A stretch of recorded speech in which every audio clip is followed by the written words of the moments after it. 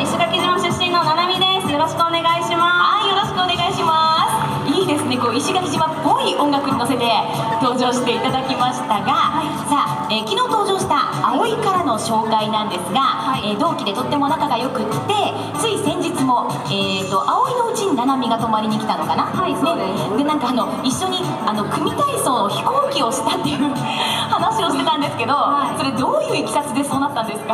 あの葵はよく私の上に乗ってくるんですけど 足の上に。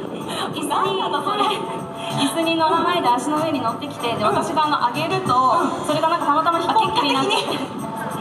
なるほどね、はい。そんなことがあったんですね。はいなっちゃいました。じゃあ本当にいつも同期で仲良くしてるんだね。はい。はい、ではそんなななみなんですがなんといっても石垣島の出身ということで、はい。本日は石垣島スペシャルナイター、はいやっぱり気合が入ってるんじゃないですか？そうですね、やっぱあの遠く離れていても、あのこうして野球というスポーツを通して、あの地元の石垣島が近くに感じてる一日になると思うので、すごく楽しみです。そうだよね、はい。せっかくですからやっぱりこう石垣島出身のななみから、はい。ぜひ今日お集まりの皆さんに、はい。石垣島のいいところなんかを教えてもらえますか？そうですね、あの多分皆さんもご存知の通りなんですけど、やっぱり自然が多いところ、そうだよね人が温かいです。はい。ちょっと皆さんに聞いてみようかな。あのマリーンズもねキャンプで毎年お世話になってますけども石垣島行ったことあるよっていう方手を挙げてみてください。あありがとうございます。あありますね。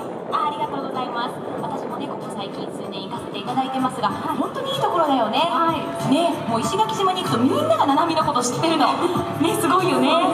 でもやっぱりそうやってこう今でもね故郷とこうつながることができるって素敵だよね。はいさあではそんなななみなんですがいよいよ今シーズンももう9月に入って、ラストスパートという感じになってきました、い。改めて、えーこのシーズン残りへ向けてあの抱負をね聞かせてもらってもいいですか？